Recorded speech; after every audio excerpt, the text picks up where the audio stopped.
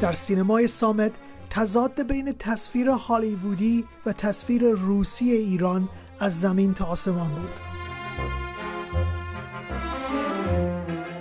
ایران برای هالیوود سرزمین فانتزی های اورینتالیستی بود. اما برای سینمای شوروی ایران کشوری بود مستعد انقلابی مردمی.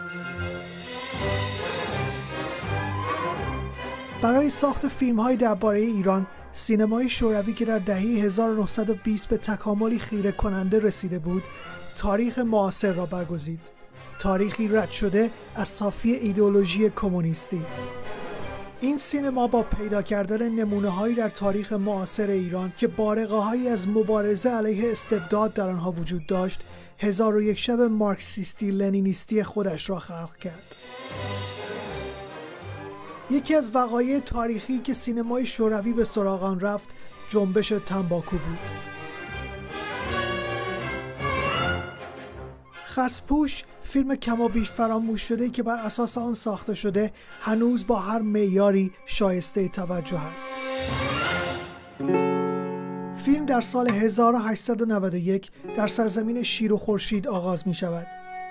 ایجاز در روایت از همین اولین نما روشن است. هنوز سفیر روسیه بیرون نرفته سفیر انگلیس سر می‌رسد شتابی دیوانوار برای به فروش گذاشتن ایران در جریان است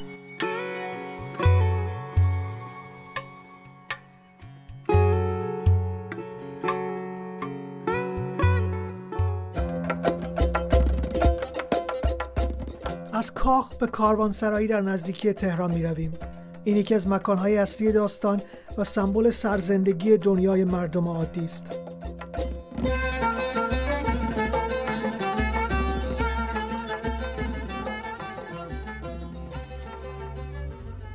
همینجاست که با سید حبیب الله آشنا می شویم چهره مذهبی و بازاری که صاحب چند کشزار تنباکوست فرمان ناصرالدین شاه برای واگذاری تجارت تنباکو به انگلیسی ها کاروانسرا یک شب از رونق می افتد. وقتی روس ها برای انتقام از ناصرالدین شاه صادرات آرت به ایران را متوقف می کنند تحتی نان می شود.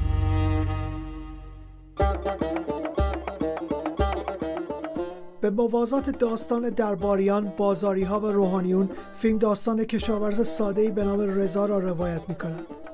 خشکسالی محصول گندم رضا و پدرش را از بین می برد و آنها را محتاج نان شبشان می کند. در واکنش به قرارداد تنباکو مردم دست به دامن مرجع تقلید می شوند. این شخصیت که معادل میرزای شیرازی است فتوای تحریم تنباکو را صادر می کند.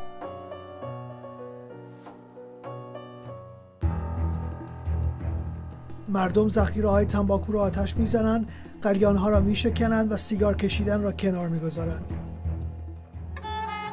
اما فیلم در این حال نشان می‌دهد که روحانیت خودش در تجارت تنباکو زینف است و این تحریم فقط برای مبارزه با شاه یا استعمار نیست بلکه برای کنترل دوباره بازار است. مبارزین واقعی انقلابی های ژنده پوشی که خسپوش نام دارند.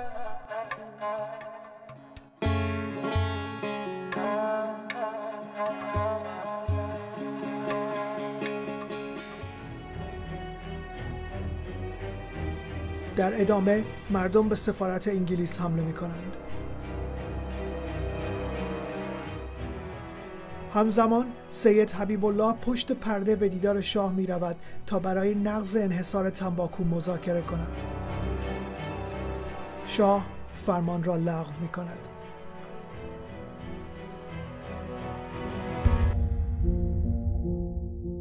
کارگردان فیلم هامو بکنازاریان ارمنی است. او از سال 1914 در فیلم های روسی بازی می کرد و در سالهای جنگ جهانی اول ستاره حدود 70 فیلم بود.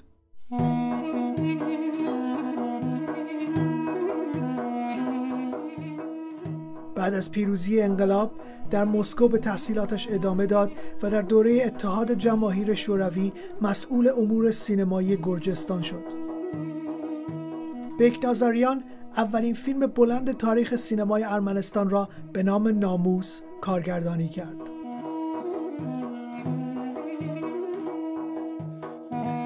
او در فیلمهایش بارها به باورهای سنتی و مذهب حمله کرده است از جمله در این یکی از فیلمهای ساخته شده در دفاع از حقوق زنان فیلم در جامعه کردهای ساکن ارمنستان میگذرد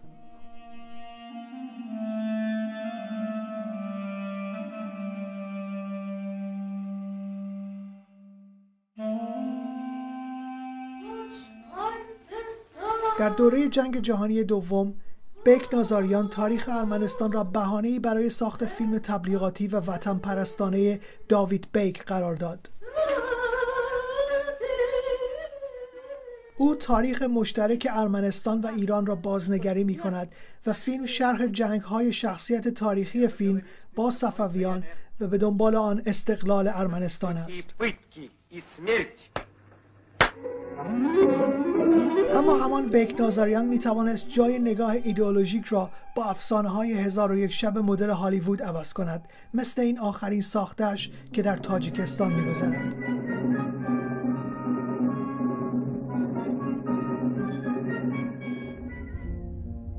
با همه اینها خسپوش احتمالا هنوز کاملترین و بهترین ساخته بیک نازاریان است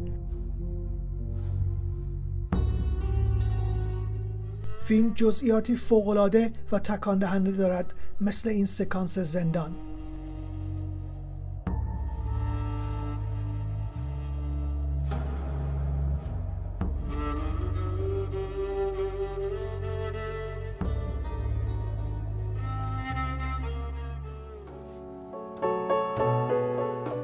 خسبوش با شکست جنبش و کشته شدن رضا تمام می شود اما بیشتر از اینکه پایانی تلخ باشد پایانی باز و نوعی پیشبینی وقایع آینده سرزمینی است که تصویر می کند